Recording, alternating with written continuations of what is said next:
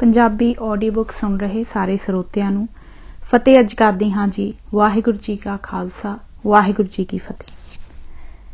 ਸ਼ੁਰੂ ਕਰਦੇ ਹਾਂ ਭਾਗ ਚੌਥਾ, ਵੱਡਾ ਕੱਲੂਕਾਰਾ।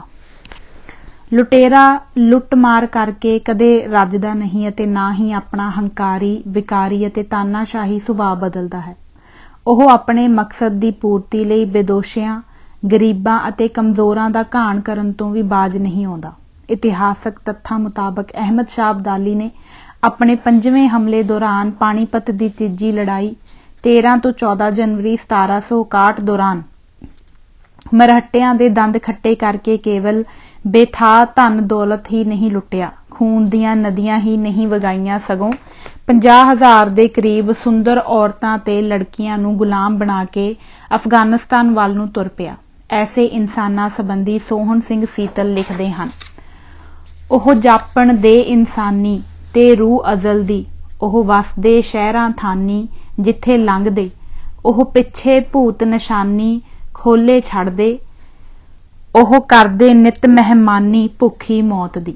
ਨਾ ਬੱਚਾ ਬਿਰਧ ਜਨਾਨੀ ਜਿਉਂਦੇ ਛੱਡਦੇ ਉਹਨਾਂ ਕੀਤੀ ਪੁੱਜ ਵਿਰਾਨੀ ਦੇਸ਼ ਪੰਜਾਬ ਦੀ।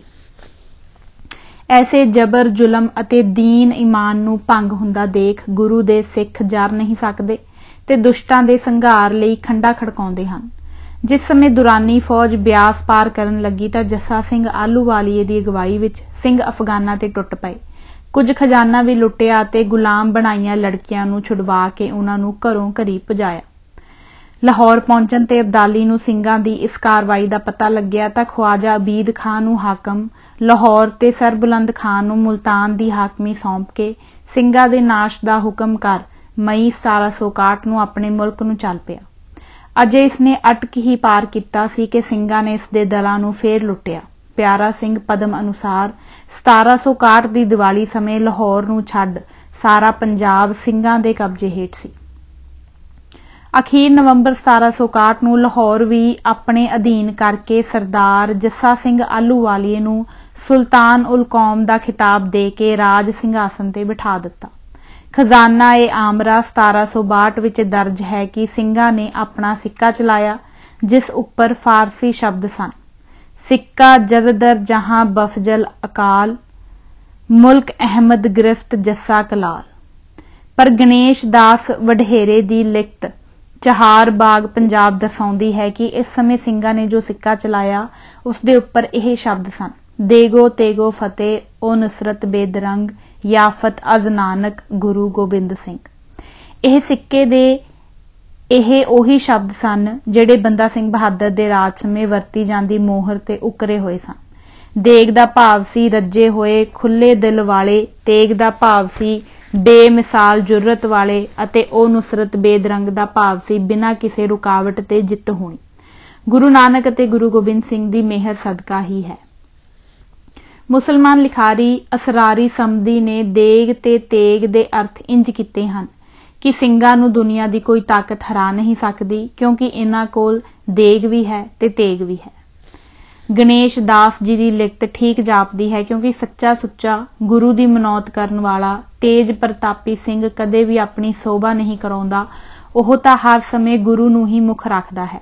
ਪਿਆਰਾ ਸਿੰਘ ਪਦਮ ਵੀ ਸੰਖੇਪ ਸਿੱਖ ਇਤਿਹਾਸ ਦੇ ਪੰਨਾ 101 ਤੇ ਲਿਖਦੇ ਹਨ ਕਿ ਜੱਸਾ ਕਲਾਲ ਦੇ ਨਾਮ ਵਾਲੇ ਸਿੱਕੇ ਦੇ ਲਫ਼ਜ਼ ਕੁਝ ਤੁਅਸਵੀ ਮੁਸਲਮਾਨਾਂ ਦੁਰਾਨੀ ਨੂੰ ਚੁੱਕਣ ਲਈ ਜਾਲੀ ਬਣਾ ਕੇ ਕਾਬਲ ਭੇਜੇ ਸਨ। ਅਸਲ ਵਿੱਚ ਜਦੋਂ 1761 ਵਿੱਚ ਸਿੰਘਾਂ ਦਾ ਸਾਰੇ ਪੰਜਾਬ ਤੇ ਕਬਜ਼ਾ ਹੋ ਗਿਆ ਤਾਂ ਜ਼ੁਲਮ ਅਤੇ ਸਤਮ ਦਾ ਨਾਚ ਨੱਚਣ ਵਾਲੇ ਇਹਨਾਂ ਮੁਸਲਮਾਨਾਂ ਅਤੇ ਦੁਰਾਨੀ ਦੇ ਯਾਰ ਗੱਦਾਰਾਂ ਜੋ ਸਨ ਤਾਂ ਸਿੱਖੀ ਦੇ ਭੇਸ ਵਿੱਚ, ਪਰ ਸਨ ਸਿੱਖਾਂ ਦੇ ਜਾਨੀ ਦੁਸ਼ਮਣ ਨੇ ਅਬਦਾਲੀ ਨੂੰ ਫੇਰ ਪੰਜਾਬ ਤੇ ਚੜ ਕੇ ਆਉਣ ਲਈ ਊਲ ਜਲੂਲ ਗੱਲਾਂ ਲਿਖ ਕੇ ਉਕਸਾਇਆ। ਇਬਰਤਨਾਮੇ ਦਾ ਲਿਖਾਰੀ ਮੁਹੰਮਦ ਕਾਸਿਮ ਲਾਹੌਰੀ ਲਿਖਦਾ ਹੈ ਕਿ ਆਕਲ ਦਾਸ ਸਿੱਖਾਂ ਦਾ ਵੱਡਾ ਦੋਖੀ ਨੇ ਪੁੱਤਰ ਲਿਖ ਕੇ ਦੁਰਾਨੀ ਪਾਸ ਕੱਲਿਆ ਕਿ ਮੇਰੀ ਜਾਨ ਖਤਰੇ ਵਿੱਚ ਹੈ, ਆਪ ਜਲਦੀ ਪਹੁੰਚੋ ਤਾਂ ਕਿ ਮੈਂ ਜਿੰਦਾ ਰਹਿ ਸਕਾਂ। ਮੇਰੇ ਮਰਨ ਪਿੱਛੋਂ ਤੁਹਾਡੀ ਤਾਕਤ ਦਾ ਕੀ ਲਾਭ? ਇਸ ਵਾਰ ਵੈਰੀ ਸਿੰਘਾਂ ਨੂੰ ਮਾਰ ਮੁਕਾਉਣਾ ਚਾਹੀਦਾ ਹੈ। ਹੁੱਲੜਬਾਜ਼ਾਂ, ਅਤਿਆਚਾਰੀਆਂ, ਹੰਕਾਰੀਆਂ ਤੇ ਵਿਕਾਰੀਆਂ ਦੀਆਂ ਉਪਰੋਕਤ ਲਿਖਤਾਂ ਦੇਖ ਅਬਦਾਲੀ 6ਵੀਂ ਵਾਰੀ 50000 ਫੌਜ ਲੈ ਕੇ 1762 ਵਿੱਚ ਪੰਜਾਬ ਤੇ ਚੜ ਆਇਆ। ਕੁੱਪ ਰਹੀੜੇ ਦੀ ਖੂਨੀ ਦਾਸਤਾਨ।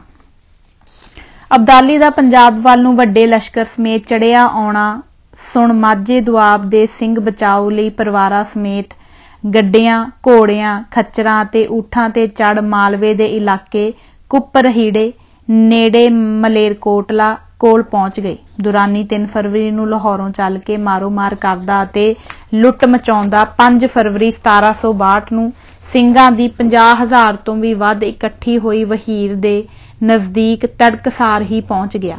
ਦੂਜੇ ਬੰਨਿਓ ਜੈਨ ਖਾ ਹਾਕਮ ਸਰਹੰਦ ਤੇ ਭੀਖਨ ਖਾ ਨਵਾਬ ਮਲੇਰ ਕੋਟਲਾ ਵੀ ਮੁਲਖਈਏ ਸਮੇਤ ਸਿੰਘਾਂ ਦੀ ਵਹੀਰ ਨੂੰ ਘੇਰ ਕੇ ਮਾਰ ਮਕਾਉਣ ਲਈ ਚੜ ਆਏ। ਇਸ ਵਹੀਰ ਨੂੰ ਜਰਵਾਣਿਆਂ ਤੋਂ ਬਚਾਉਣ ਲਈ ਅਤੇ ਸੁਰੱਖਿਅਤ ਥਾਂ ਤੇ ਪਹੁੰਚਾਉਣ ਲਈ ਸੰਗੂ ਸਿੰਘ ਵਕੀਲ, ਆਲਾ ਸਿੰਘ ਤੇ ਸੇਖੂ ਸਿੰਘ ਵਕੀਲ ਭਾਈ ਬੁੱਢਾ ਸਿੰਘ ਬਰਨਾਲੇ ਵੱਲ ਲਿਜਾ ਰਹੇ ਸਨ। ਸਰਦਾਰ ਜੱਸਾ ਸਿੰਘ ਆਲੂਵਾਲੀਆ ਤੇ ਸਰਦਾਰ ਚਰਤ ਸਿੰਘ ਸ਼ਸਤਰਧਾਰੀ ਸਿੰਘਾਂ ਸਮੇਤ ਵੈਰੀ ਨੂੰ ਰੋਕਣ ਲਈ ਮੈਦਾਨੇ ਜੰਗ ਵਿੱਚ ਜੂਝ ਰਹੇ ਸਨ।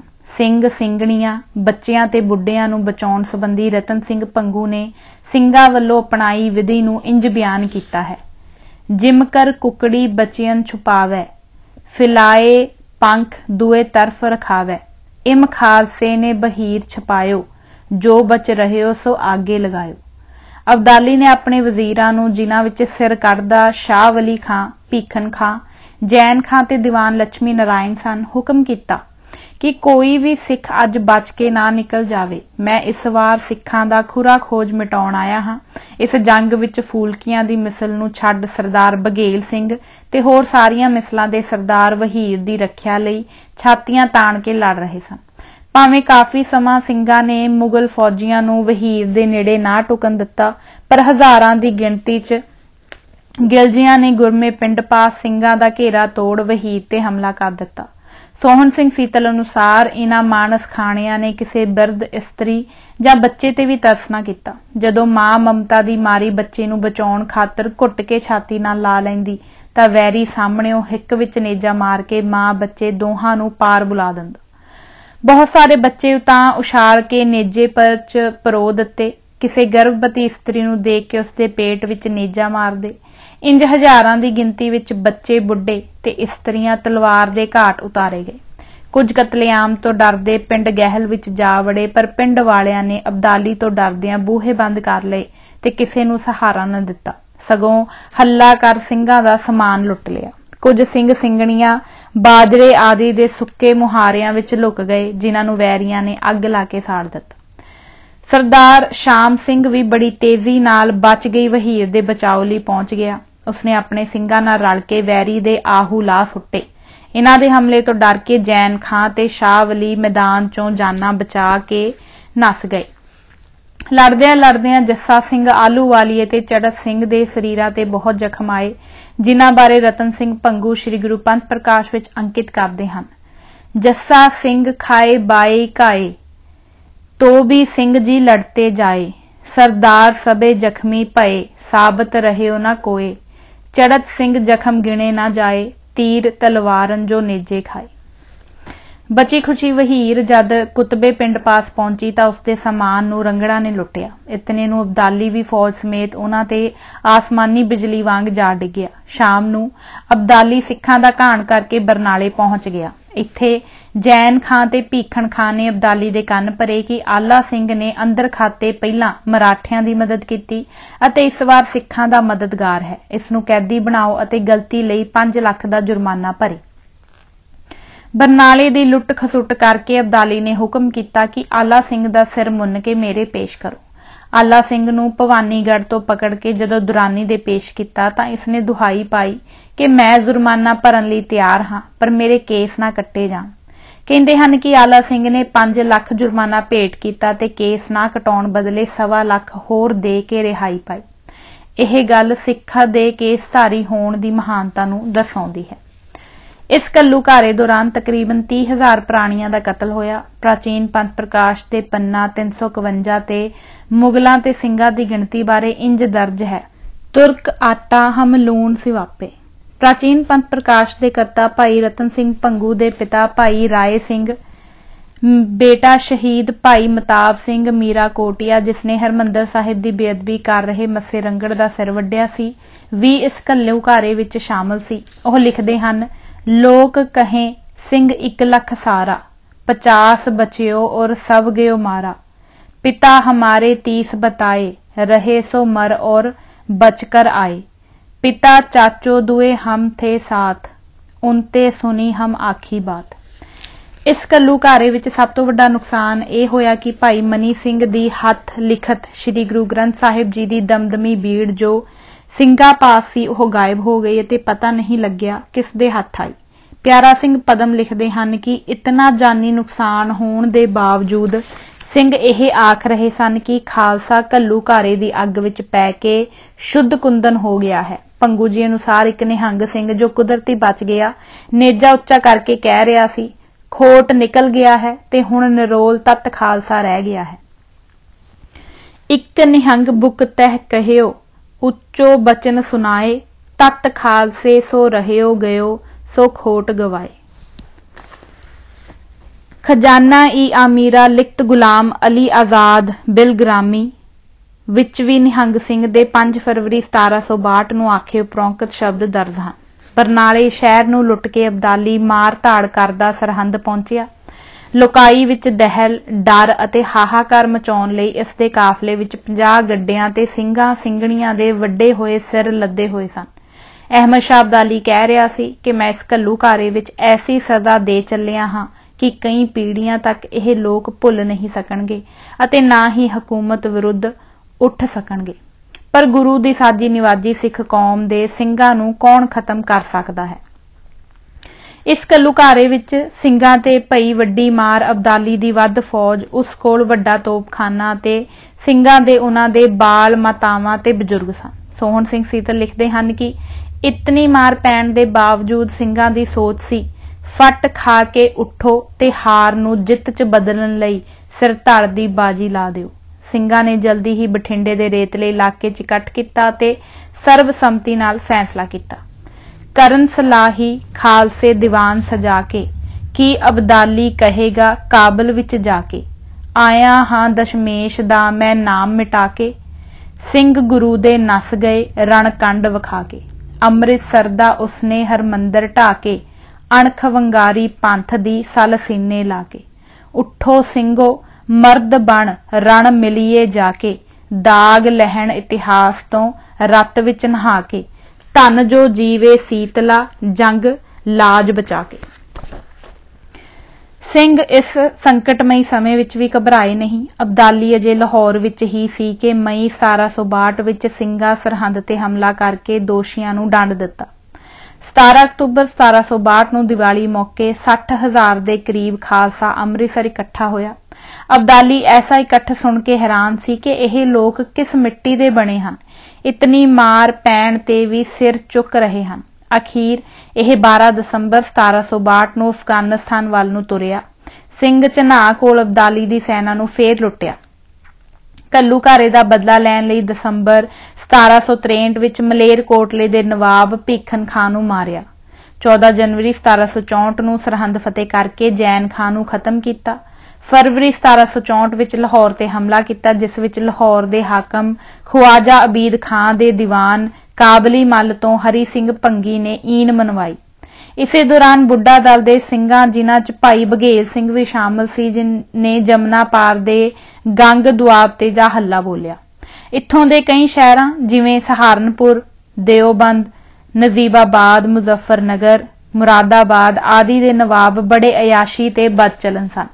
ਇਹਨਾਂ ਧੱਕੇ ਨਾਲ ਹਿੰਦੂਆਂ ਦੀਆਂ ਬਹੁ ਬੇਟੀਆਂ ਆਪਣੇ ਹਰਮਾਂ ਵਿੱਚ ਰੱਖੀਆਂ ਹੋਈਆਂ ਸਨ। ਇਹਨਾਂ ਸ਼ਹਿਰਾਂ ਦੀ ਲੁੱਟ ਸਮੇਂ ਸਿੰਘਾਂ ਨੇ ਲੜਕੀਆਂ ਨੂੰ ਛੁਡਾਇਆ। ਪਿਆਰਾ ਸਿੰਘ ਪਦਮ ਲਿਖਦੇ ਹਨ ਕਿ ਚੰਦਰਾ ਹਿੰਦੂ ਸਮਾਜ ਉਹਨਾਂ ਬਹੁ ਬੇਟੀਆਂ ਨੂੰ ਆਪਣੇ ਵਿੱਚ ਸ਼ਾਮਲ ਕਰਨ ਲਈ ਤਿਆਰ ਨਹੀਂ ਸੀ।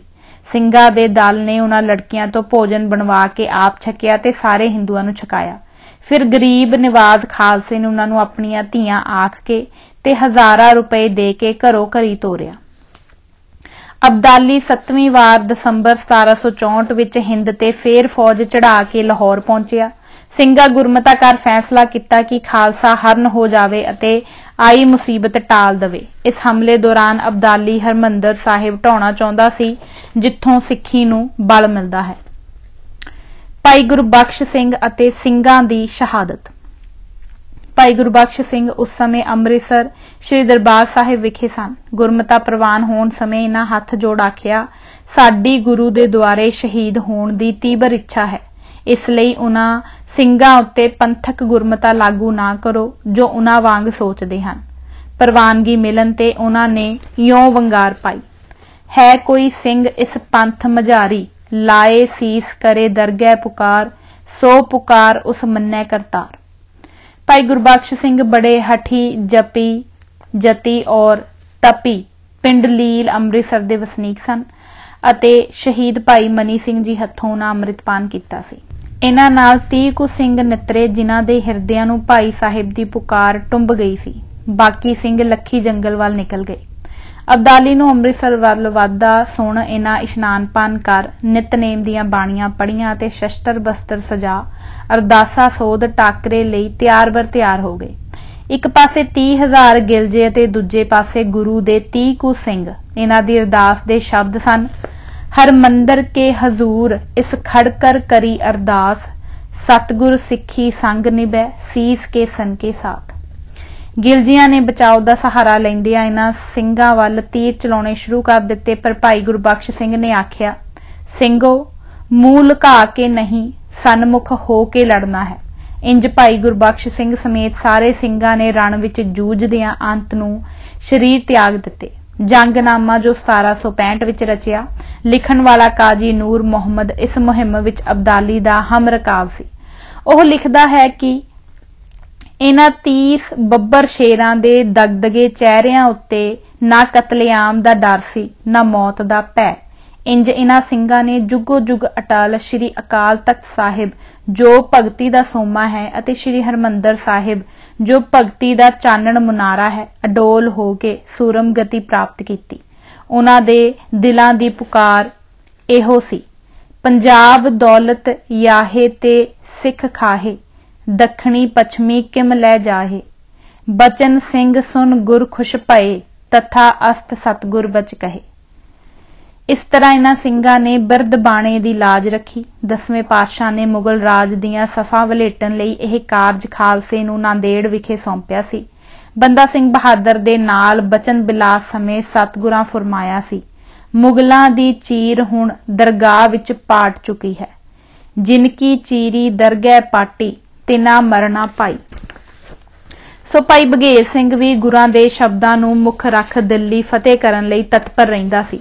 ਜੇਕਰ ਉਹਨਾਂ ਨੂੰ ਕੋਈ ਪੁੱਛਦਾ ਕਿ ਥੋੜੀ ਜਹੀ ਗਿਣਤੀ ਨਾਲ ਤੂੰ ਦਿੱਲੀ ਕਿਵੇਂ ਹਥਿਆ ਲਵੇਂਗਾ, ਤਾਂ ਉਹ ਮੁੱਖ ਉਚਾਰਦਾ, ਮੈਂ ਨਹੀਂ ਹਥਿਆਉਣੀ ਦਿੱਲੀ ਗੁਰੂ ਨੇ ਹਥਿਆ ਕੇ ਦੇਣੀ ਹੈ।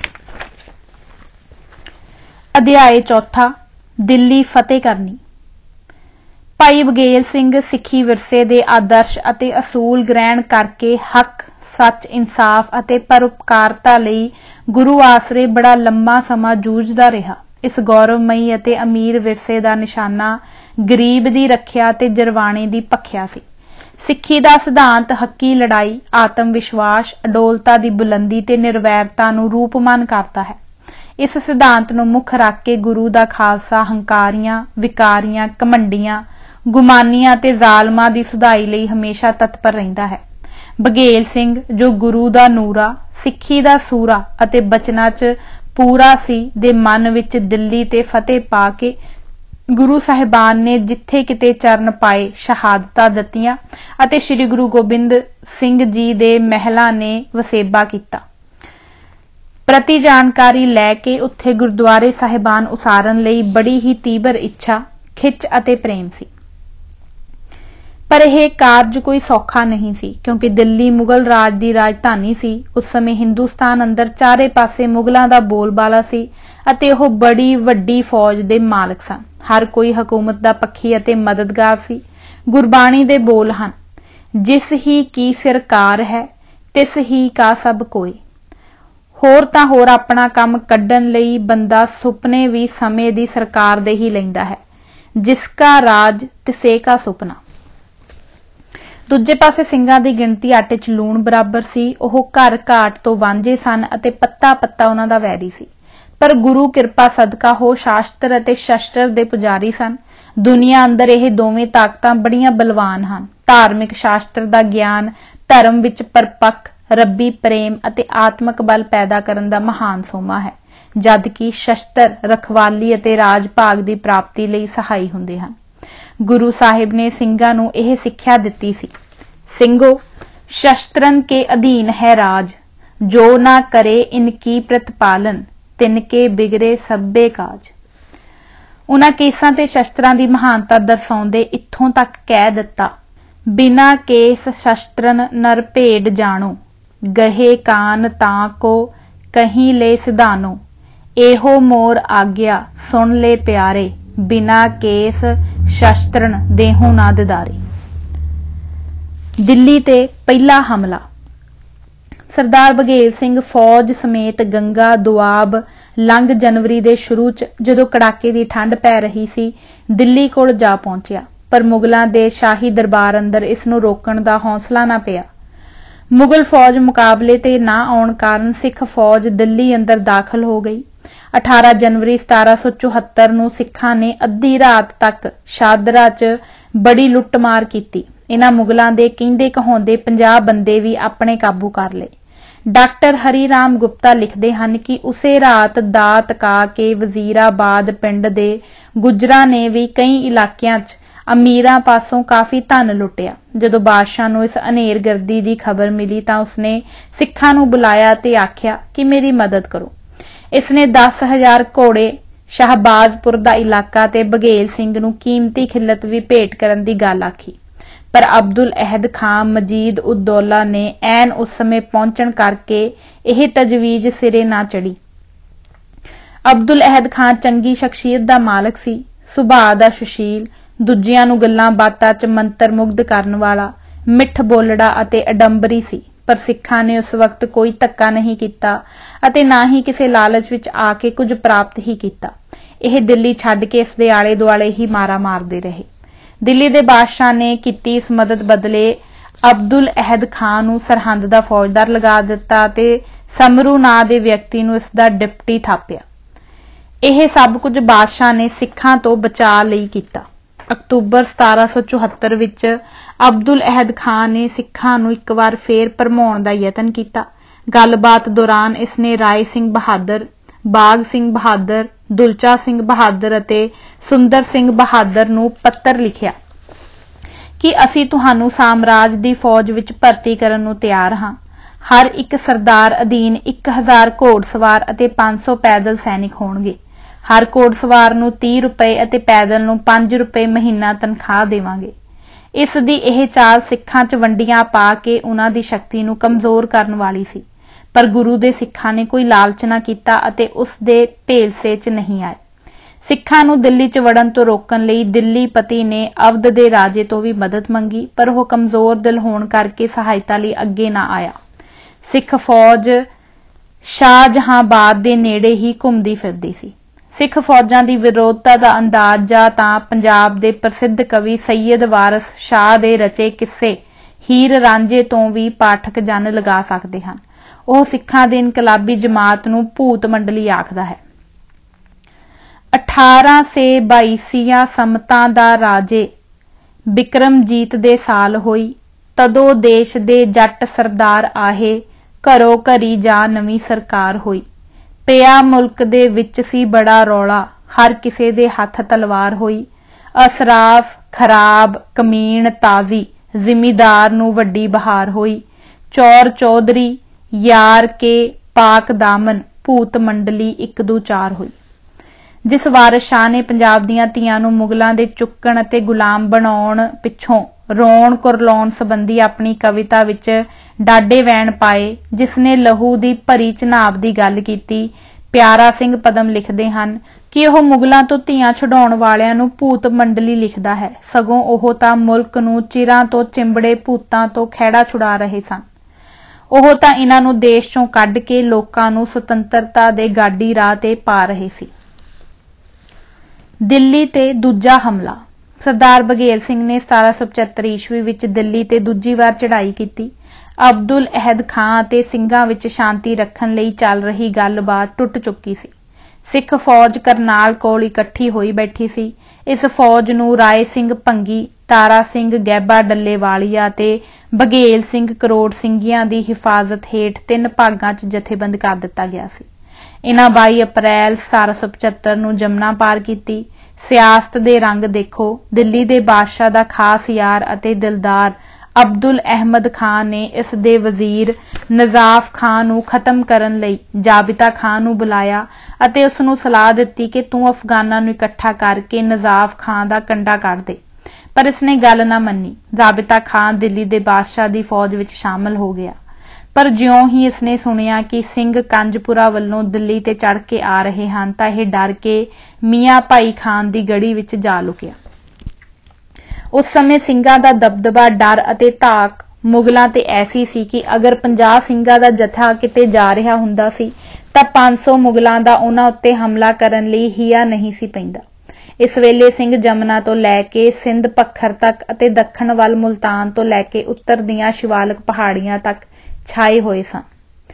ਇਸ ਤਰ੍ਹਾਂ ਸਿੰਘਾਂ ਦੀ ਤਲਵਾਰ ਨੇ ਹਿੰਦ ਦੀ ਸਰਹੰਦ ਨੂੰ ਚਟਾਨ ਵਾਂਗ ਮਜ਼ਬੂਤ ਬਣਾ ਦਿੱਤਾ ਸੀ। ਅੰਗਰੇਜ਼ ਜਨਰਲ ਬਾਰਕਰ ਨੇ ਸਰਦਾਰ ਝੰਡਾ ਸਿੰਘ ਭੰਗੀ ਨੂੰ 19 ਅਗਸਤ 1771 ਦੇ ਦਿਨ ਲਿਖੇ ਪੱਤਰ ਵਿੱਚ ਇਹ ਖਾਸ ਸ਼ਬਦ ਲਿਖੇ। ਇਹ ਸਾਫ਼ ਦਿਖਾਈ ਦਿੰਦਾ ਹੈ ਕਿ ਜਿਤਨਾ ਚਿਰ ਖਾਲਸਾ ਸਰਹੰਦ ਦੀ ਰਾਖੀ ਕਰ ਰਿਹਾ ਹੈ, ਕੋਈ ਵੀ ਹਿੰਦੁਸਤਾਨ ਵੱਲ ਚੜ ਕੇ ਆਉਣ ਵਾਲਾ ਬਿਨਾਂ ਮੁਕਾਬਲੇ ਨਹੀਂ ਮੁੜ ਸਕਦਾ। ਰਾਏ ਸਿੰਘ, ਭੰਗੂ ਅਤੇ ਤਾਰਾ ਸਿੰਘ ਗੈਬਾ ਦੇ ਜਥੇ ਕਈ ਦਿਨ ਦਿੱਲੀ ਦੇ ਆਲੇ-ਦੁਆਲੇ ਦੇ ਇਲਾਕਿਆਂ ਵਿੱਚ ਮੁਗਲਾਂ ਨਾਲ ਭਿੜਦੇ ਰਹੇ ਅਤੇ ਅਖੀਰ ਨੂੰ ਜ਼ਾਬਿਤਾ ਖਾਨ ਦੇ ਇਲਾਕੇ ਗੌਂਸਗੜ ਪਹੁੰਚ ਗਏ। ਇੱਥੇ ਜ਼ਾਬਿਤਾ ਖਾਨ ਨੇ ਸਿੰਘਾਂ ਦੀ ਸ਼ਰਨ ਲਈ ਅਤੇ ਉਹਨਾਂ ਦੀ ਮਦਦ ਲਈ ਦੱਖਣੀ ਦਿੱਲੀ ਵੱਲ ਨੂੰ ਨਾਲ ਗਿਆ। 30 ਅਪ੍ਰੈਲ 1775 ਦਾ ਇੱਕ ਪੱਤਰ ਬਿਆਨ ਕਰਦਾ ਹੈ ਕਿ ਜ਼ਾਬਿਤਾ ਖਾਂ ਦੀ ਅਗਵਾਈ ਵਿੱਚ ਸਿੱਖ ਦਿੱਲੀ ਦੇ ਨੇੜੇ ਹੱਲਾ ਗੁੱਲਾ ਮਚਾ ਰਹੇ ਹਨ। ਜਮਨਾ ਦੇ ਦੂਜੇ ਪਾਸੇ ਮਰਹੱਟੇ ਨਵਾਬ ਆਸਫ ਉਦਦੌਲਾ ਲਈ ਪਰੇਸ਼ਾਨੀ ਦਾ ਕਾਰਨ ਬਣੇ ਹੋਏ ਹਨ। 15 ਜੁਲਾਈ 1775 ਨੂੰ ਬਗੇਲ ਸਿੰਘ ਦੀ ਕਮਾਂਡ ਹੇਠ ਸਿੰਘ ਦਿੱਲੀ 'ਚ ਦਾਖਲ ਹੋ ਗਏ। ਇਹਨਾਂ ਪਹਾੜਗੰਜ ਅਤੇ ਜੈ ਸਿੰਘ ਪੁਰਾ ਦਾ ਇਲਾਕਾ ਸਾੜ ਦਿੱਤਾ। ਮੁਗਲ ਫੌਜਾਂ ਨੇ ਥੋੜਾ ਜਿਹਾ ਮੁਕਾਬਲਾ ਕੀਤਾ ਅਤੇ ਦੋਹਾਂ ਧਿਰਾਂ ਦੇ 60 ਦੇ ਕਰੀਬ ਫੌਜੀ ਮਾਰੇ ਗਏ। ਦੂਜੇ ਪਾਸੇ ਜਾਬਿਤਾ ਖਾਨ ਫੌਜ ਲੈ ਦੱਖਣੀ ਦਿੱਲੀ 'ਚ ਘੁਸ ਗਿਆ, ਪਰ ਨਾਜ਼ੀਬ ਖਾਨ ਤੋਂ ਹਾਰ ਗਿਆ, ਜਿਸ ਕਾਰਨ ਸਿੰਘਾਂ ਨੂੰ ਦਿੱਲੀ ਤਿਆਗਣੀ ਪਈ। ਦਿੱਲੀ ਤਖਤ ਦੀ ਪਟਿਆਲੇ ਵੱਲ ਚੜਾਈ ਨਜ਼ਾਫ ਖਾਨ ਨੇ ਭਰਤਪੁਰ ਅਤੇ ਅਲਵਰ ਦੇ ਰਾਜ਼ਿਆਂ ਦੀ ਤਾਕਤ ਨਸ਼ਟ ਕਰ ਦਿੱਤੀ ਸੀ। ਮਰਾਠੇ ਅੰਗਰੇਜ਼ਾਂ ਨਾਲ ਜੂਝ ਰਹੇ ਸਨ। ਅਹਿਮਦ ਸ਼ਾਹ ਅਬਦਾਲੀ ਮਰ ਚੁੱਕਿਆ ਸੀ ਅਤੇ ਉਸ ਦਾ ਪੁੱਤ ਤੈਮੂਰ ਸ਼ਾਹ ਔਕੜਾਂ 'ਚ ਫਸਿਆ ਹੋਇਆ ਸੀ। ਡਾਕਟਰ ਹਰੀ ਰਾਮ ਗੁਪਤਾ ਦੇ ਕਥਨ ਅਨੁਸਾਰ 1779 ਵਿੱਚ ਹਿੰਦੁਸਤਾਨ ਅੰਦਰ ਸਿੱਖਾਂ ਦੀ ਚੜ੍ਹਤ ਦਾ ਡੰਕਾ ਵੱਜ ਰਿਹਾ ਸੀ। ਸਿੱਖ ਸਰਦਾਰਾਂ ਨੇ ਕੈਥਲ ਦੇ ਰਾਜਾ ਭਾਈ ਦੇਸੂ ਸਿੰਘ ਦੇ ਦੂਤ ਨਾਲ ਮਿਲ ਕੇ ਸਤਲੁਜ, ਲਾਹੌਰ ਅਤੇ ਮੁਲਤਾਨ ਜਿੱਤਣ ਦੀ ਸਲਾਹ ਕੀਤੀ। ਅਬਦੁਲ ਅਹਿਦ ਖਾਨ ਨੇ ਵੀ ਸਿੱਖਾਂ ਦੀ ਬਣਾਈ ਯੋਜਨਾ ਸਵੀਕਾਰ ਕੀਤੀ, ਪਰ ਪਟਿਆਲੇ ਦਾ ਰਾਜਾ ਅਮਰ ਸਿੰਘ ਜਿਸ ਦੇ ਦਿਲ ਵਿੱਚ ਖੋਟ ਸੀ ਅਤੇ ਸਿੱਖ ਸਰਦਾਰਾਂ ਦਾ ਹਮੇਸ਼ਾ ਵਿਰੋਧ ਕਰਦਾ ਸੀ, ਨੇ ਅਬਦੁਲ ਅਹਿਦ ਖਾਨ ਨੂੰ ਚਿੱਠੀ ਲਿਖ ਭੇਜੀ ਕਿ ਆਪਾਂ ਮਿਲ ਕੇ ਇਹਨਾਂ ਸਰਦਾਰਾਂ ਦਾ ਮਲੀਆ ਮੇਟ ਕਰ ਦਈਏ। ਅਸਲ ਵਿੱਚ ਆਲਾ ਸਿੰਘ ਦਾ ਕਬੀਲਾ ਰਾਜ ਪ੍ਰਾਪਤੀ ਦਾ ਭੁੱਖਾ ਸੀ ਅਤੇ ਹੈ ਵੀ। ਅਬਦੁਲ ਅਹਿਦ ਖਾਨ 18 ਜੂਨ 1779 ਨੂੰ 50000 ਸੈਨਿਕ ਅਤੇ 200 ਤੋਪਾਂ ਲੈ ਪਟਿਆਲੇ ਵੱਲ ਚੱਲਿਆ। ਇਸ ਦੇ ਨਾਲ ਸ਼ਹਿਜ਼ਾਦਾ ਮਿਰਜ਼ਾ ਜ਼ਹਾਨ ਸ਼ਾਹ ਫਰਖੁੰਦਾ ਬਖਤ ਵੀ ਸੀ। ਤਕਰੀਬਨ 29 ਜੁਲਾਈ ਨੂੰ ਇਹ ਪਾਣੀਪਤ ਦੇ ਲਾਗੇ ਅੱਪੜ ਗਏ।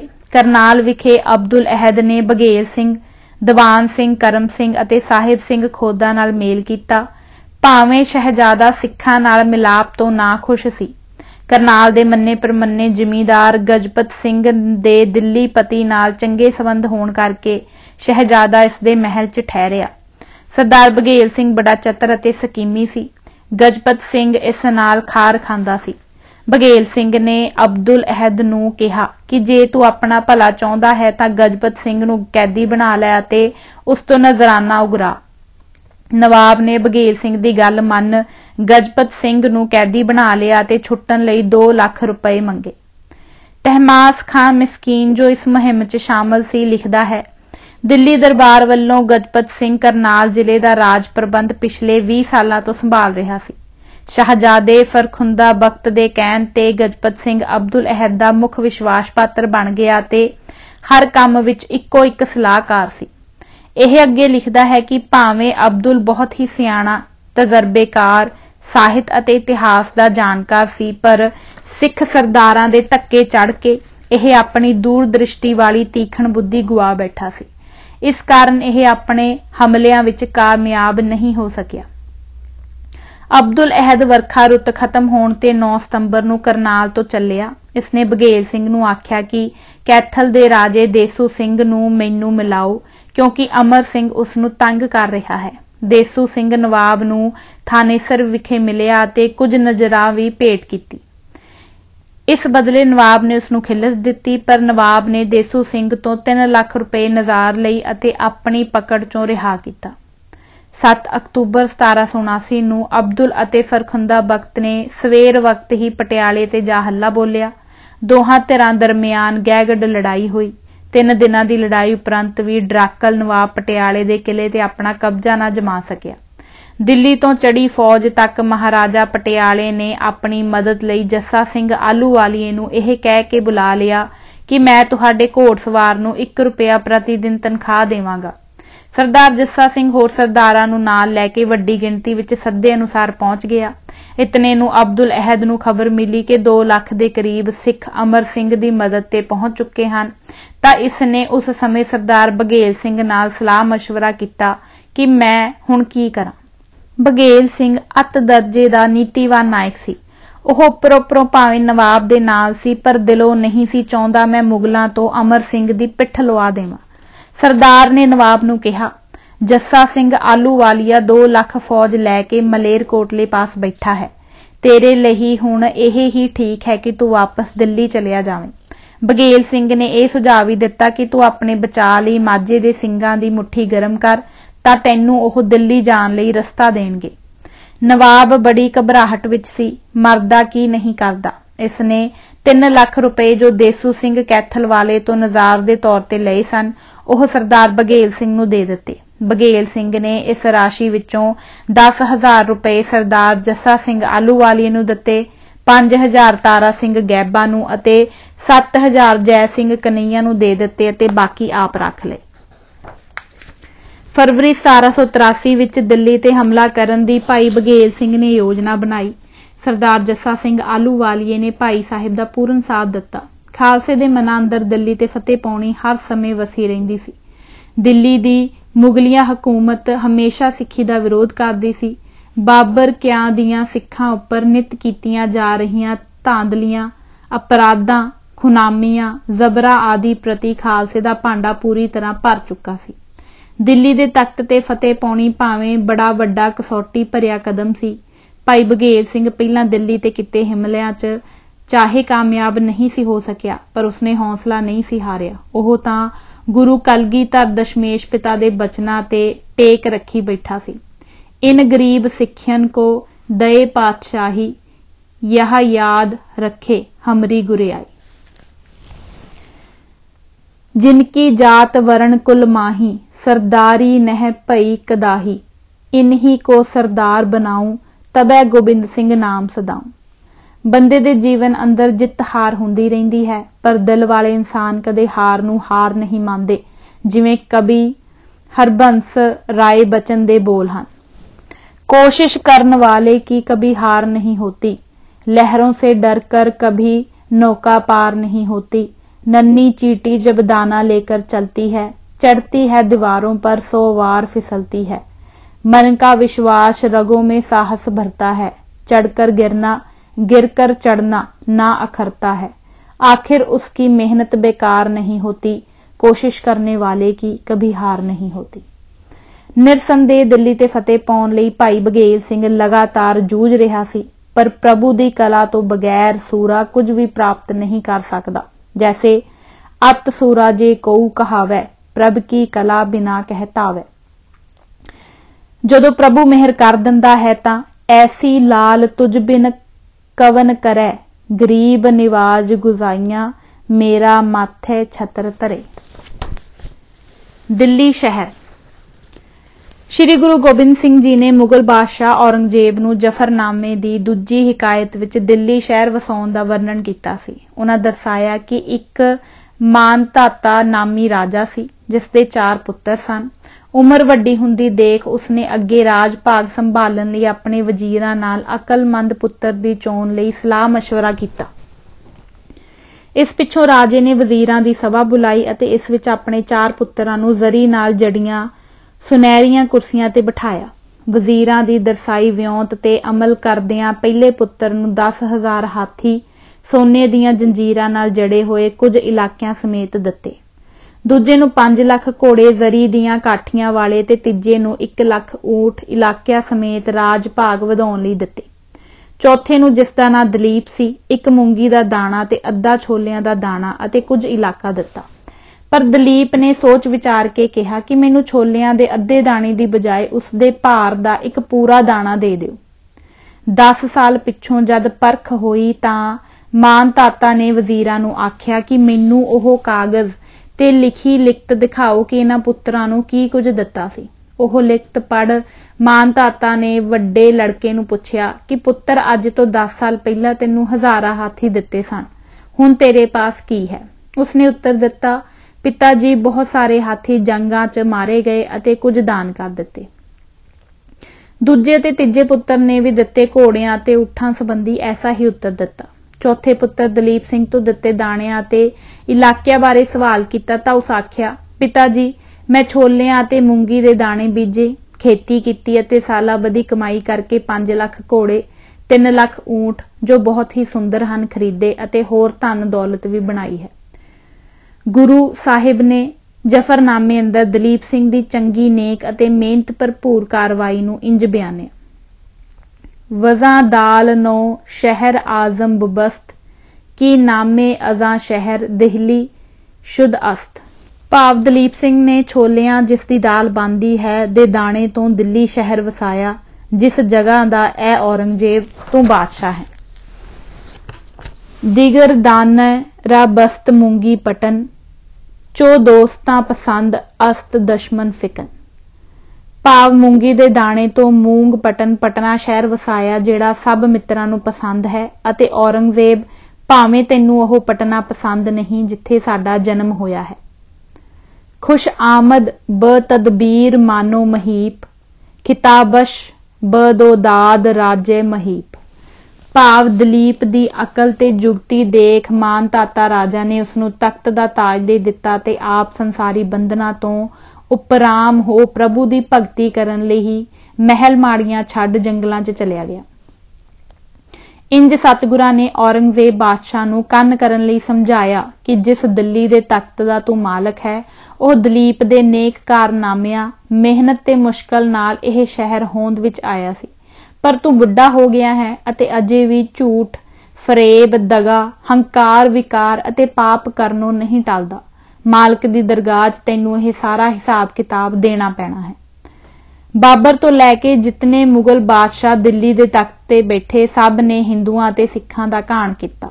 ਉਪਰੰਤ ਅੰਗਰੇਜ਼ਾਂ ਨੇ ਵੀ ਘਟ ਨਹੀਂ ਕੀਤੀ। ਦੇਸ਼ ਦੀ ਆਜ਼ਾਦੀ ਲਈ ਬੜਾ ਖੂਨ ਡੁੱਲਿਆ।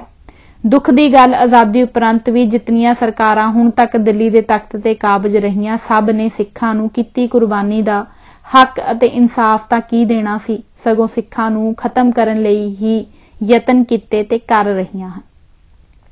ਇਹ ਅਕਿਰਤ ਘੰਟਾ ਦੀ ਵੱਡੀ ਮਿਸਾਲ ਹੈ।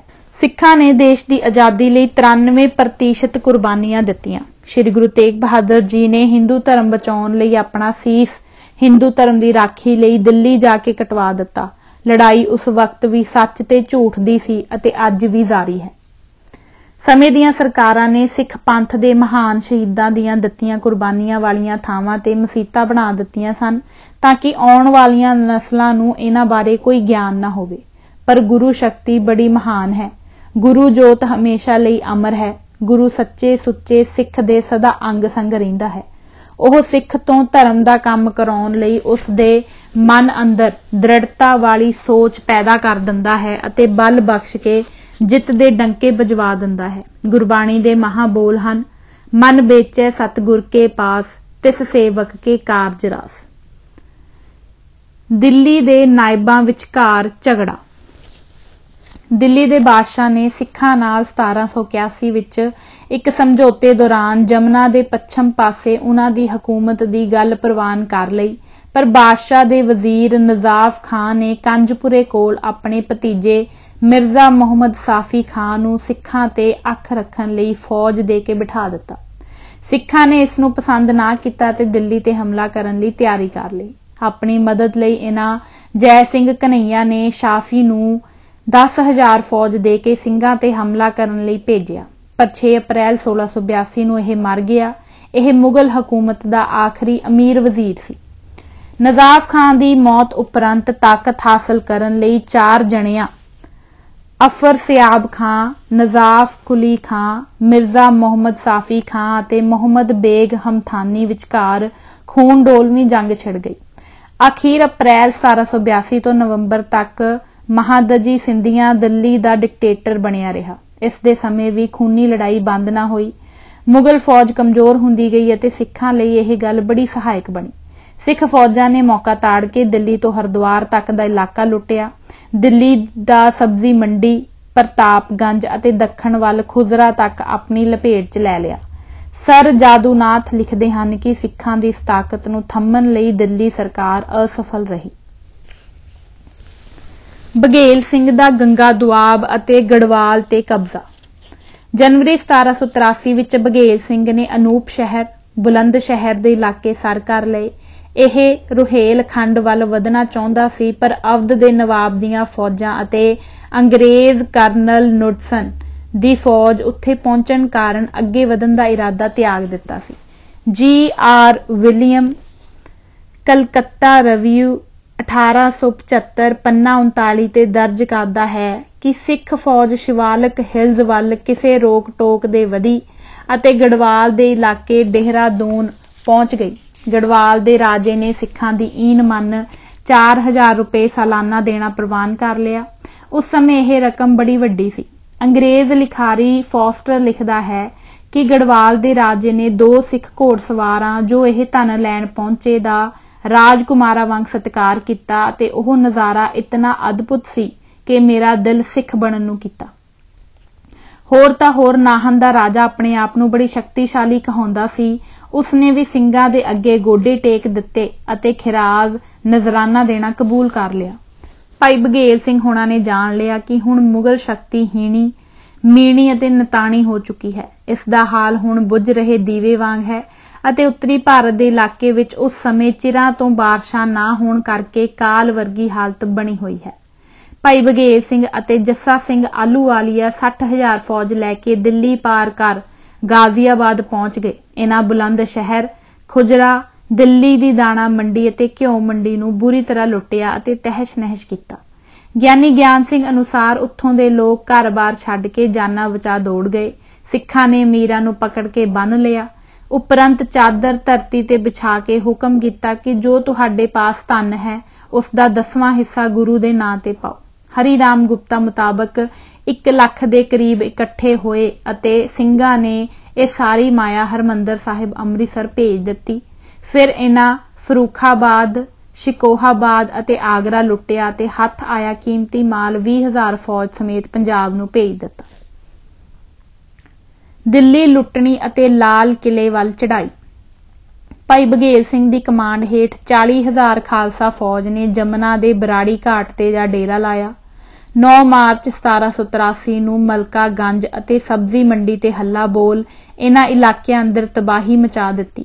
ਸ਼ਹਿਜ਼ਾਦਾ ਮਿਰਜ਼ਾ ਸ਼ਿਕੋ ਨੇ ਮਹਿਤਾਬਪੁਰ ਵਿਖੇ ਸਿੰਘਾਂ ਨੂੰ ਵੰਗਾਰਿਆ ਤੇ ਟਾਕਰਾ ਕੀਤਾ, ਪਰ ਉਹ ਬੁਰੀ ਤਰ੍ਹਾਂ ਸ਼ਿਕਸ਼ਤ ਖਾ ਗਿਆ। ਸਿੰਘ ਪਾਣੀ ਦੇ ਹੜ ਵਾਂਗ ਅੱਗੇ ਵਧੇ। ਫਜ਼ਲ ਅਲੀ ਖਾਨ ਨੇ ਵੀ ਇਹਨਾਂ ਨੂੰ ਰੋਕਣ ਦੀ ਕੋਸ਼ਿਸ਼ ਕੀਤੀ, ਪਰ ਇਹ ਅਜਮੇਰੀ ਗੇਟ ਦੇ ਇਲਾਕੇ 'ਚ ਜਾ ਪਹੁੰਚੇ। ਸਿੰਘ ਜਿੱਧਰ ਵੀ ਜਾਂਦੇ ਬਾਜਾਂ ਦੀ ਨਿਆਈ ਮੁਗਲ ਸੈਨਾ ਤੇ ਜਾ ਝਪਟਦੇ ਸਨ। ਇਹ ਹਾਲਤ ਤੱਕ ਅਬਦੁਲ ਅਹਿਦ ਖਾਨ ਨੇ 10 ਮਾਰਚ ਨੂੰ ਸ਼ਹਿਰ ਦੇ ਜਵਾਨ ਫੌਜ ਵਿੱਚ ਭਰਤੀ ਕਰਨ ਲਈ ਢੰਡੋਰਾ ਫਿਰਵਾਇਆ। ਪਰ ਸ਼ਹਿਰ ਦੇ ਲੋਕ ਡਰ ਕੇ ਲਾਲ ਕਿਲੇ 'ਚ ਜਾ ਵੜੇ। ਸ਼ਾਹ ਨੇ ਮਿਰਜ਼ਾ ਸਾਫੀ ਅਤੇ ਉਸ ਦੇ ਭਰਾ ਜੈਨ ਉਲ ਅਬੀਦੀਨ ਨੂੰ ਇੱਕੇਦਮ ਦਿੱਲੀ ਪਹੁੰਚਣ ਲਈ ਆਖਿਆ ਤਾਂ ਕਿ ਸਿੱਖਾਂ ਦੇ ਭੈ ਭੀਤ ਕਰਨ ਵਾਲੇ ਦਬਕੇ ਨੂੰ ਰੋਕਿਆ ਜਾ ਸਕੇ। ਹਕੂਮਤ ਨੇ ਬੇਗਮ ਸਮਰੂ ਨੂੰ ਵੀ ਦਿੱਲੀ ਬੁਲਾ ਲਿਆ ਤਾਂ ਕਿ ਸਿੱਖਾਂ ਨਾਲ ਗੱਲਬਾਤ ਕੀਤੀ ਜਾ ਸਕੇ। ਇਹ ਬੇਗਮ ਸਮਰੂ ਜਿਸ ਦਾ ਅਸਲੀ ਨਾਂ ਜੈਬ ਉਨ ਨਿਸ਼ਾ ਸੀ, ਅਰਬ ਦੇ ਮੁਸਲਮਾਨ ਅਸਾਦ ਖਾਨ ਦੀ ਧੀ ਸੀ। ਇਹ 1753 ਵਿੱਚ ਜਨਮੀ ਸੀ ਅਤੇ ਰੇਨ ਹਾਰਡ ਨਾਲ ਵਿਆਹੀ ਗਈ ਸੀ, ਜਿਸ ਨੂੰ ਸਮਰੂ ਕਰਕੇ ਹੀ ਬੁਲਾਉਂਦੇ ਸਨ, ਕਿਉਂਕਿ ਇਸ ਦਾ ਪਤੀ ਸਮਰੂ ਜਰਮਨ ਦਾ ਸਾਸੀ ਸੂਰਮਾ ਸੀ। ਨਜਾਫ ਖਾਨ ਨੇ ਇਸ ਨੂੰ ਸਰਦਾਨਾ ਇਲਾਕੇ ਦੀ ਜਾਗੀਰ ਸੰਭਾਲੀ ਹੋਈ ਸੀ, ਪਰ 1778 ਵਿੱਚ ਇਸ ਦੀ ਮੌਤ ਹੋਣ ਪਿੱਛੋਂ ਸਮਰੂ ਨੇ ਜਾਗੀਰ ਸੰਭਾਲੀ ਅਤੇ ਇਸ ਪਾਸ ਪੰਜ ਬਟਾਲੀਅਨਾਂ ਦੀ ਪਿਆਦਾ ਫੌਜ ਸੀ, ਜਿਸ ਵਿੱਚ 300 ਦੇ ਕਰੀਬ ਅੰਗਰੇਜ਼ ਅਫਸਰ ਸਨ। ਇਹ ਬਟਾਲੀਅਨਾਂ 40 ਤੋਪਖਾਨੇ ਤੇ ਤੋਪਚੀਆਂ ਨਾਲ ਲੈਸ ਸਨ। 1781 ਵਿੱਚ ਬੇਗਮ ਨੇ ਰੋਮਨ ਕੈਥੋਲਿਕ ਧਰਮ ਅਪਣਾ ਲਿਆ ਸੀ ਅਤੇ ਆਪਣਾ ਨਾਂ ਜੋਹਾਨਾ ਰੱਖਿਆ। ਇਹ ਮਨ ਕਰਕੇ ਬੜੀ ਦਲੇਰ ਸਾਸੀ ਅਤੇ ਜਾਂਬਾਜ਼ ਸੀ। ਇਹ ਆਪਣੇ ਸਿਰ ਤੇ ਹਮੇਸ਼ਾ ਅੰਗੂਰੀ ਰੰਗ ਦੀ ਦਸਤਾਰ ਪਹਿਨਦੀ ਸੀ। ਮੁਗਲਾਂ ਦੀ ਇਸ ਨੂੰ ਪੂਰੀ ਹਿਮਾਇਤ ਸੀ, ਕਿਉਂਕਿ ਉਹਨਾਂ ਨੇ ਇਸ ਨੂੰ ਸਰਦਾਨੇ ਦੀ ਜਾਗੀਰ ਪ੍ਰਦਾਨ ਕੀਤੀ ਹੋਈ ਸੀ। ਦਿੱਲੀ ਦਾ ਬਾਦਸ਼ਾਹ ਆਲਮ ਖਾਂ ਇਸ ਨੂੰ ਆਪਣੀ ਧੀ ਆਖਦਾ ਸੀ, ਗੱਲ ਕੀ ਮੁਗਲਾਂ ਨੇ ਸਿੱਖਾਂ ਨੂੰ ਦਿੱਲੀ ਚੋਂ ਬਾਹਰ ਧਕੇਲਣ ਲਈ ਹਰ ਢੰਗ ਵਰਤਿਆ। ਭਾਵੇਂ ਗੁਰੂ ਦੇ ਸਿੰਘ ਇਸ ਦੀ ਸ਼ਖਸੀਅਤ ਤੋਂ ਵੀ ਵਾਕਿਫ ਸਨ, ਪਰ ਉਹ ਦਿੱਲੀ ਫਤਿਹ ਕਰਨ ਲਈ ਪੂਰਾ ਤਾਣ ਲਾ ਰਹੇ ਸਨ। ਉਹਨਾਂ ਇਸ ਸਮੇਂ ਨਾ ਮੁਗਲ, ਨਾ ਮਰਾਠਿਆਂ, ਨਾ ਅੰਗਰੇਜ਼ਾਂ, ਨਾ ਸਮਰੂ ਆਦਿ ਦੀ ਪ੍ਰਵਾਹ ਕੀਤੀ। ਭਾਵੇਂ ਰਣ ਤੱਤੇ 'ਚ ਜੂਝਦਿਆਂ ਜਾਨੀ ਅਤੇ ਮਾਲੀ ਨੁਕਸਾਨ ਹੋ ਰਿਹਾ ਸੀ, ਪਰ ਗੁਰੂ ਦਾ ਖਾਲਸਾ ਸਰਦਾਰ ਬਘੇਲ ਸਿੰਘ ਦੀ ਅਗਵਾਈ ਹੇਠ ਬੋਲੇ ਸੋਨਿਹਾਲ ਸਤਿ ਸ਼੍ਰੀ ਅਕਾਲ ਦੇ ਜਕਾਰੇ ਗੁਜਾਉਂਦੇ ਲਾਲ ਕਿਲੇ ਵੱਲ ਬੜੀ ਤੇਜ਼ੀ ਨਾਲ ਵੱਧ ਰਿਹਾ ਸੀ। 10 ਮਾਰਚ 1783 ਨੂੰ ਸ਼ਾਹ ਆਲਮ ਦੂਜੇ ਨੇ ਸਰਦਾਰ ਬਘੇਲ ਸਿੰਘ ਨੂੰ ਸਮਝੌਤੇ ਲਈ ਬੁਲਾਇਆ ਪਰ ਸਰਦਾਰ ਨੇ ਨਾ ਕਰ ਦਿੱਤੀ। ਉਹ ਸਮਝਦਾ ਸੀ ਕਿ ਹਾਰਨਾ ਪਾਪ ਨਹੀਂ, ਪਰ ਹਾਰ ਮੰਨ ਲੈਣਾ ਜਾਂ ਜਿੱਤ ਕੇ ਨਿਸ਼ਾਨੇ ਤੇ ਪਹੁੰਚ ਕੇ ਪਿੱਛੇ ਹਟਣਾ ਪਾਪ ਹੈ। ਕਮੀਨਗੀ ਹੈ ਅਤੇ ਕਮਦਿਲੀ ਹੈ। ਲਾਲ ਕਿਲੇ 'ਚ ਦਾਖਲਾ। ਸਿੰਘਾਂ ਨੇ ਲੁੱਟ ਖਸੁੱਟ ਦਾ ਮਾਲ ਤਾਂ ਮੰਜੂ ਦੇ ਟਿਲੇ ਤੇ ਸਖਤ ਪਹਿਰੇ ਹੇਠ ਟਿਕਾ ਦਿੱਤਾ। ਹੁਣ ਲਾਲ ਕਿਲੇ ਅੰਦਰ ਦਾਖਲੇ ਦੀ ਵਿਉਂਤ ਬਣਾਉਣ ਲੱਗੇ। ਇਹ ਕਿਲਾ ਜਮਨਾ ਦੇ ਕਿਨਾਰੇ ਪੁਰਾਣੀ ਦਿੱਲੀ ਚਾਂਦਨੀ ਚੌਂਕ ਦੇ ਕੋਲ ਸ਼ਾਹ ਜਹਾਨ ਨੇ 1639 ਵਿੱਚ ਬਣਾਇਆ ਸੀ। ਇਹ 250 ਏਕੜ ਰਕਬੇ ਵਿੱਚ ਬਣਿਆ ਹੋਇਆ ਹੈ ਅਤੇ ਇਸ ਦੀ ਤਿਆਰੀ ਲਈ 9 ਸਾਲ ਲੱਗੇ ਸਨ। ਇਹ ਸਾਰੇ ਦਾ ਸਾਰਾ ਲਾਲ ਪੱਥਰ ਦਾ ਬਣਿਆ ਹੋਇਆ ਹੈ। ਸ਼ਾਹ ਜਹਾਨ ਨੇ ਮੁਗਲ ਰਾਜਧਾਨੀ, ਜੋ ਪਹਿਲਾਂ ਆਗਰੇ ਵਿੱਚ ਸੀ, ਦਿੱਲੀ ਵਿਖੇ ਤਬਦੀਲ ਕਰ ਦਿੱਤੀ। ਇਸ ਦੇ ਦੁਆਲੇ ਬੜੀ ਚੌੜੀ ਤੇ ਡੂੰਗੀ ਖਾਈ ਬਣੀ ਹੋਈ ਹੈ, ਤਾਂ ਕਿ ਦੁਸ਼ਮਣ ਛੇਤੀ ਕਿੱਤਿਆਂ ਦਾਖਲ ਨਾ ਹੋ ਸਕੇ। ਮੁੱਖ ਗੇਟ ਦਾ ਨਾਂ ਲਾਹੌਰੀ ਗੇਟ ਹੈ, ਕਿਉਂਕਿ ਇਸ ਦਾ ਮੂੰਹ ਲਾਹੌਰ ਵੱਲ ਹੈ। ਐਸੇ ਮਜ਼ਬੂਤ ਉੱਚੀਆਂ ਦੀਵਾਰਾਂ ਤੇ ਪੱਥਰ ਦੀ ਚਣਾਈ ਕਾਰਨ ਅਤੇ ਕਿਲੇ ਅੰਦਰ ਮੌਜੂਦ ਵੱਡੀ ਗਿਣਤੀ ਵਿੱਚ ਮੁਗਲ ਫੌਜ ਦਾ ਟਾਕਰਾ ਕਰਕੇ ਦਾਖਲ ਹੋਣਾ ਕੋਈ ਸੌਖੀ ਗੱਲ ਨਹੀਂ ਸੀ। ਕਿਲੇ ਦੇ ਸਭ ਦਰਵਾਜ਼ੇ ਬੰਦ ਕਰ ਦਿੱਤੇ ਗਏ ਸਨ। ਇਤਿਹਾਸਕ ਕਥਨ ਮੁਤਾਬਕ ਸਿੰਘਾਂ ਨੂੰ ਇੱਕ ਮਿਸਤਰੀ ਨੇ ਦੱਸਿਆ ਕਿ ਕਿਲੇ ਦੀ ਇੱਕ ਬਾਹੀ ਦੀ ਕੰਧ ਅੰਦਰੋਂ ਕਮਜ਼ੋਰ ਹੈ। ਇਹ ਸੁਣ ਸਿੰਘਾਂ ਨੇ ਬੜੀ ਮਿਹਨਤ ਨਾਲ ਉਸ ਥਾਂ ਤੇ ਪੱਥਰ ਤੋੜ ਕੇ ਮੋਰੀ ਜਾਂ ਮਘੋਰਾ ਕੀਤਾ ਅਤੇ ਸਿੱਖ ਫੌਜ ਤੇਜ਼ੀ ਨਾਲ ਕਿਲੇ ਅੰਦਰ 11 ਮਾਰਚ 1783 ਨੂੰ ਦਾਖਲ ਹੋਈ। ਇਹ ਮੋਰੀ ਵਾਲੀ ਥਾਂ ਅੱਜ ਵੀ ਮੋਰੀ ਗੇਟ ਨਾਲ ਮਸ਼ਹੂਰ ਹੈ। ਸਿੰਘਾਂ ਦੀ ਆਮਦ ਤੱਕ ਬਾਦਸ਼ਾਹ, ਉਸ ਦੇ ਵਜ਼ੀਰ, ਅਮੀਰ, ਮੁਲਾ, ਕਾਜ਼ੀ ਆਦਿ ਆਪਣੇ ਰਿਹਾਇਸ਼ੀ ਸਥਾਨਾਂ ਤੇ ਤਾਲੇ ਲਾ ਕੇ ਲੁਕ ਗਏ। ਸਿੰਘਾਂ ਨੂੰ ਤੱਕ ਇਹਨਾਂ ਦੀ ਹਾਲਤ ਉਹਨਾਂ ਜੰਗਲੀ ਜਾਨਵਰਾਂ ਵਾਂਗ ਹੋ ਗਈ, ਜਿਵੇਂ ਸ਼ੇਰ ਦੀ ਬੜਕ ਸੁਣ ਉਹ ਆਪਣੇ ਆਪਣੇ ਕੁਰਨਿਆਂ ਵਿੱਚ ਜਾ ਵੜਦੇ ਹਨ। ਸਿੱਖ ਫੌਜ ਨੇ ਲੁਕੇ ਕਿਸੇ ਬੰਦੇ ਤੇ ਅਤਿਆਚਾਰ ਨਹੀਂ ਕੀਤਾ ਤੇ ਨਾ ਹੀ ਕਿਸੇ ਨੂੰ ਮਾਰਿਆ। ਸਰਦਾਰ ਜੱਸਾ ਸਿੰਘ ਰਾਮਗੜੀਆ ਵੀ ਹਿਸਾਰ ਤੋਂ 10000 ਫੌਜ ਲੈ ਕੇ ਦਿੱਲੀ ਪਹੁੰਚ ਗਿਆ, ਪਰ ਸਰਦਾਰ ਜੱਸਾ ਸਿੰਘ ਆਲੂਵਾਲੀਆ ਤੇ ਹੋਰ ਸਰਦਾਰਾਂ ਨੇ ਇਸ ਨੂੰ ਪੰਜਾਬ ਚੋਂ ਕੱਢ ਦਿੱਤਾ ਸੀ। ਲਾਲ ਕਿਲੇ ਤੇ ਕੇਸਰੀ ਨਿਸ਼ਾਨ ਚਲਾਉਣੇ।